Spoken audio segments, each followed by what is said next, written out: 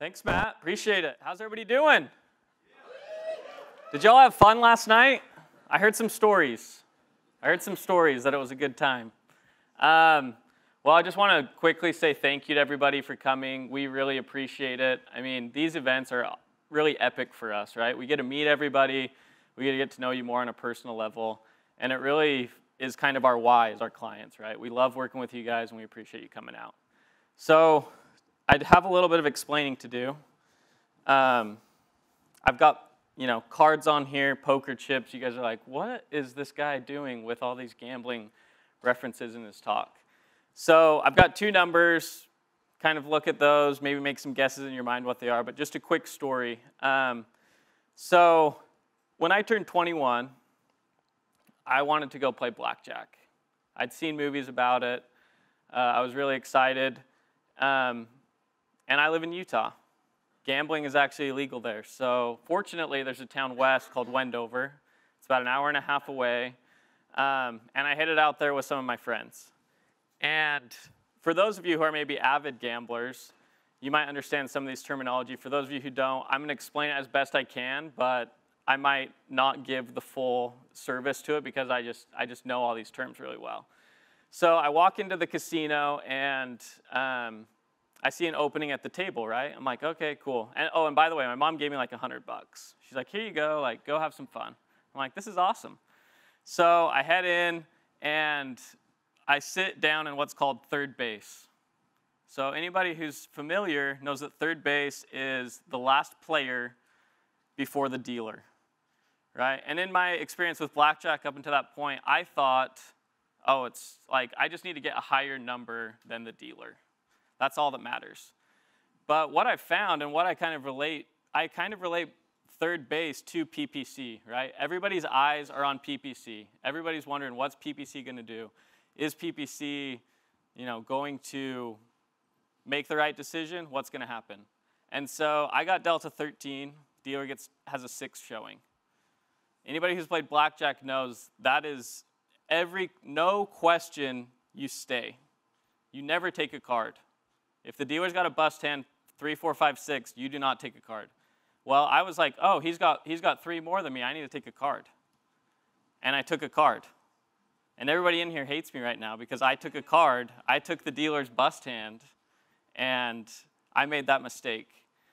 And it's something that I see in marketing all the time where the first thing we do as marketers is we say, Do you want to do a demo or do you want to give me your credit card number? Right? We get antsy, we get anxious, we get too aggressive right up front. They don't even know who we are yet, right? That's like taking a bust hand when you should really kind of introduce yourself, etc.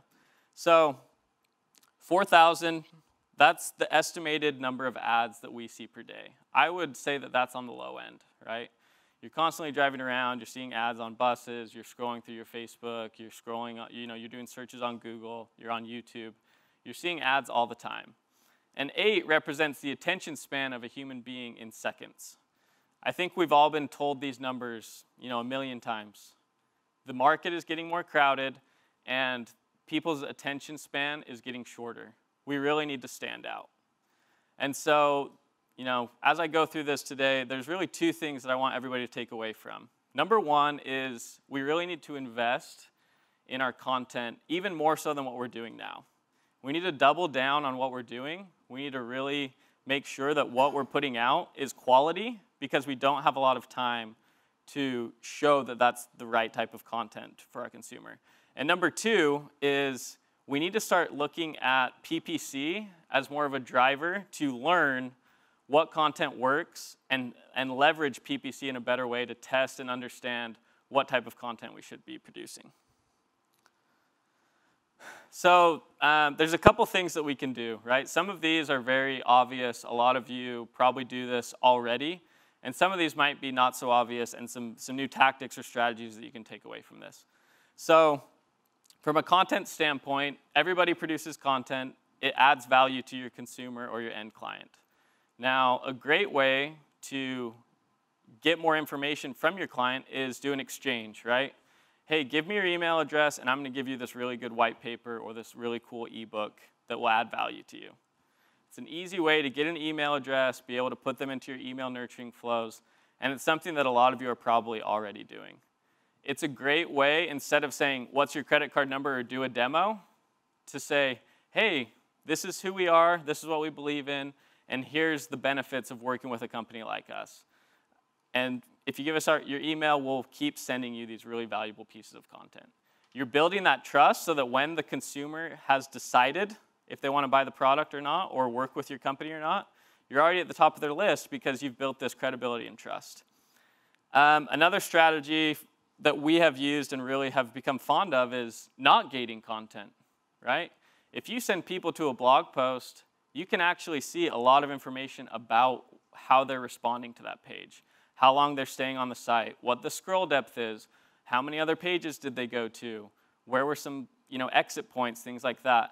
And that's twofold. It gives you insights into how to better optimize your website, but it also lets you segment your audiences so that down the line you know what type of content to serve up to them.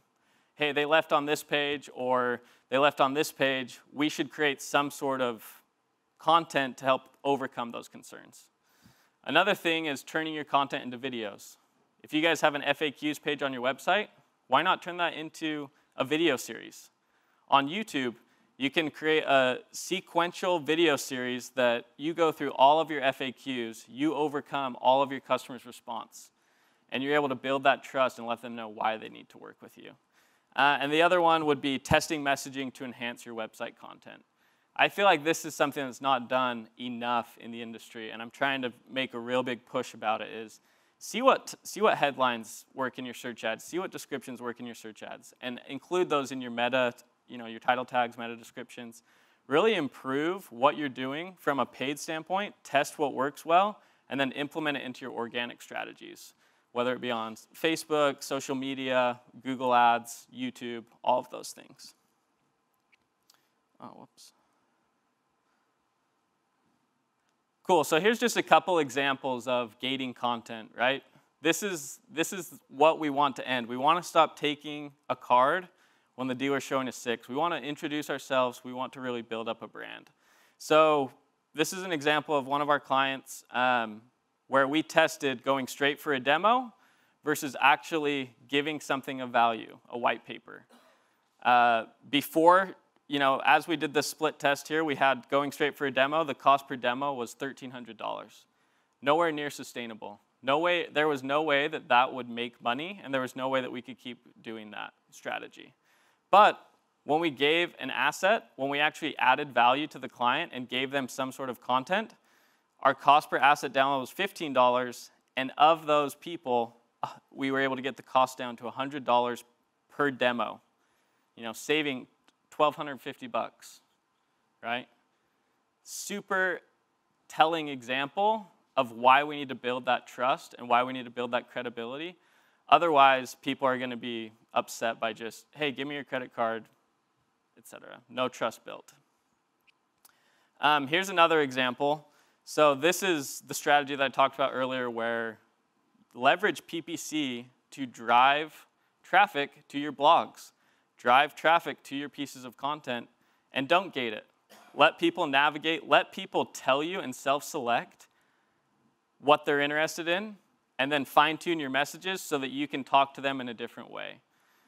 We need to use PPC to understand our audiences and learn how to talk to them better. Um, this was a campaign where we were running just a remarketing strategy, right? We knew what type of audiences were there, what their engagement levels were like, but we didn't really build any sort of trust or have a good way of segmenting our audiences and understanding that. So what we did is it's the cold versus warm audience approach if somebody is cold to you, they don't even know who you are, you cannot just ask them for a demo or ask them to buy a product right away. You really need to create a sense of trust, show the benefits, show the values, and really work with them on that. So we took, we took all of the top five blogs that we had written and where the most traffic was going, and we started sending display traffic there. And then from that, we created all these different audience types time on site, uh, scroll depth, how many pages, and then based upon certain things, we started sending different messages. So this first number is the customer acquisition cost with just remarketing, which is always going to be great, right? Customer acquisition cost for remarketing should be one of your better numbers. But this bottom number is a blended cost of not only the cold audience traffic, so sending display traffic to the website, segmenting our audiences, and then remarketing to them. And we're actually able to lower the cost to $185 and 17 times the number of acquisitions. And the reason why is we were able to cast a wider net, drive people to the site for much cheaper cost, right? Display clicks are pennies compared to what you might see on a search engine or within social media, especially with how the market's going. Um, so we were able to drive lots of traffic to the website, segment those audiences, and then double down on the people who are showing intent. These are the users that you want to keep spending your money on, are those that are already engaging and showing that. Cool. So another thing that, um, you know, my topic is double down on content, right? These are some strategies to leverage your content, but there's also a second half of this of being creative with your targeting. There are a lot of content creators out there. Anybody in here personally, influencer, YouTube, vlog, blog post, anybody? Raise of hands. I know we have a few at Avalaunch that have big social media followings, right? there are people in your space that have created these really amazing followings. And the people, it's like a cult like following. If they say to jump, the person says, How high, right? They just trust everything that they say. Um, and so I really want to kind of show some opportunities with other content creators, how we can leverage that with Google's networks and create some really cool strategies for targeting. So these numbers right here 600 million blogs in the world today. Um, earnings from the top 10 YouTube channels, 180.5 million, and 4,000 hours of annual media consumption, right? We're constantly looking at influencers, seeing what they do. For context, there's only like 8,700 hours in a year, right? So like half of our time we're consuming media, we're watching vlogs, we're reading about certain things. And it's just a market that we all need to get a handle on we all should know who the top content creators are to where our audience would be located because it's really just easy pickings like running some pre-roll video ads on their YouTube channels, running some display ads on their blogs. Because like I said, these people trust these content creators, and if we sh are showing up before an ad, just naturally they're going to say, oh, they, they must have some sort of affiliation with this certain blogger or influencer, right? Oh, whoops, wrong button. Cool. So Google's really done a good job of offering these opportunities to PPC. We can target YouTube channels, we can target YouTube videos, we can target specific blogs if they've opted into Google AdSense, which most of them have. That's how they're making their money, right, is from click traffic. So I want to talk through a few different ideas for both the blogging world and the video world and how we can leverage that within PPC. Right, we talked about how we can leverage our content. Now let's talk about some creative strategies to target these users. So some ideas and things that we've tested is researching top blogs in our space, understanding what the top bloggers are, who our audience is reading, who they're looking at, and understanding where those people are. If they're opted into Google Display Network, let's target their blogs. Let's serve display ads there. Let's make sure that we're introducing ourselves on those pages so that these bloggers are happy making money, putting out more content, and our customers are seeing our ads on their pages. Another idea is how to, right? How many of our consumers are constantly searching these long tail terms like how to do this, how to do that? It's a great opportunity to not only build trust, but to show up on the terms that they're looking for. So, an example of this would be you go to a search engine, you search how to, and you find the top five blogs that are ranking organically, and you can plug that in as what's called a custom intent audience. These are the audiences that are going to those blogs all of the time. Another example of this would be um, searching like what I might consider a champion keyword, right? What are the keywords that you want to rank number one for Google on? Put that in your search engine box, see which ones are ranking organically, and then add those URLs as a custom affinity audience. And those are three great ways that we can leverage bloggers and blog content as a targeting option and letting Google's machine learning finding those people and placing our ads in the right place at the right time. On the video side, Find the people who are putting out good vlogs. They have high amount of subscribers. Their product is complementary or works well with what we sell or what we do, and run a pre-roll video ad on it. The person goes to watch that vlogger's video and they're introduced to this new brand they've never heard before. And they're like, oh man, that's cool. I didn't know this existed, right? It's a great way to introduce that. We can actually look at target specific videos. So if there's a video that pairs well with your product, or if there's a video that makes a lot of sense for you to be running pre-roll on, that's another example. And then another one would be people also viewed. If there's other videos out there that resonate or they're complementary, that's an, another way that we can target these content creators and piggyback of, off of what they are already doing and already being wildly successful for. All right, let's gamble. I want to I want to kind of walk everybody through an example here of how this actually comes to life. I want something actionable where it's like I feel empowered now to create a campaign or like a strategy around what we just talked about. So I went to Google and I typed in how to count cards. The beauty of Google is it gives me eight other how-to keywords that are relevant and have high volume around counting cards. This is a prime example of what I can put in as my custom intent audience. People who are looking at how to count cards, how to count cards in poker, how to count cards for dummies. All of these things could be created as a custom intent audience. And then once I actually land on the page, I can look at the blogs and see which ones are ranking organically the best. If they're ranking well on Google organically, people are liking them, otherwise Google wouldn't show them up at the top of the page, right? So then I go into uh, Audience Manager within Google Ads, and I create a custom intent audience around how-to keywords. There's two, there's two options that you can do. You can do Google search terms or in-market keywords. For YouTube, you can leverage Google search terms. For display, you have to use in-market keywords. But these are audiences that you can create and you can target as a cold audience, right? This is where we're going to leverage our content that we've already created, gated assets, or a really good blog post that we've already decided on. The other end would be a custom affinity audience, putting in URLs. These were the top blogs that ranked organically on Google. I want Google to find blogs like that and other content like that. Get me some audiences that fit into this particular topic or audience.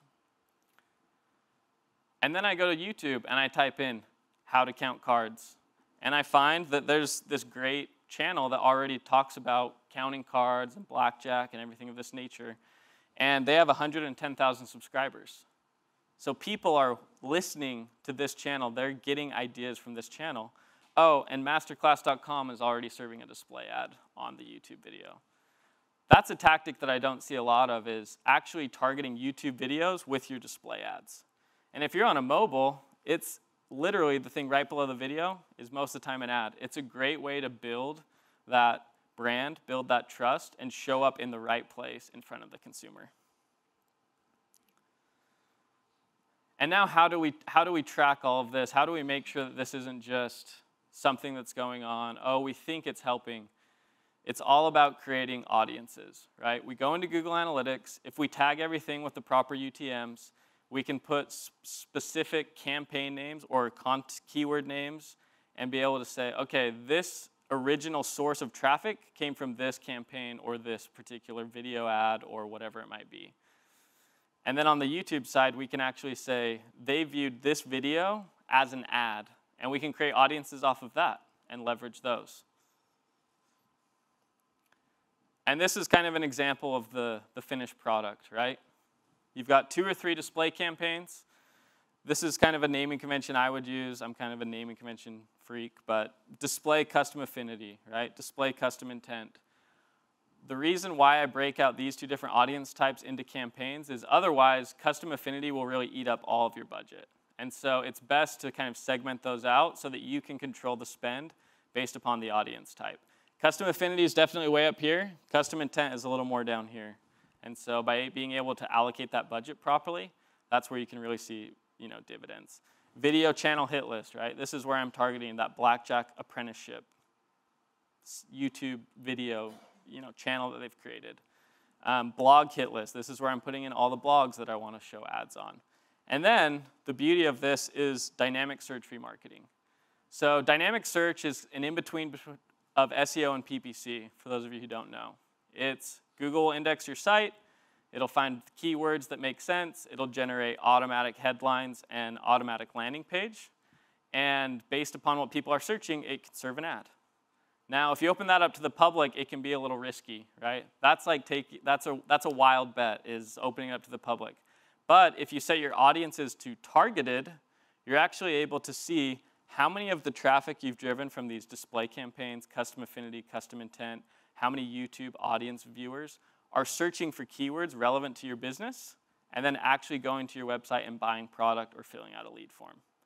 It works great for two reasons. Number one is you get insights into what a warm audience looks for for your product and what they convert on, so you can then add those as non-branded keywords that you might open up to the entire public, right? Hey, these keywords seem to be searched a lot by our people who are coming to our website a lot and they're actually buying product. Now let's go out and let's open this up to the public and see if other people who search these keywords buy our product. Um, within each campaign, it's really good to have two or three audiences to test, figure out which audience is really working the best and driving, and that's why it's important to have those UTMs so you can understand that data. But anyways, next time you guys are in Wendover, hit me up. I'm happy to uh, sit down at the table with you and um, let's all double down on our content and really make it work. Thank you.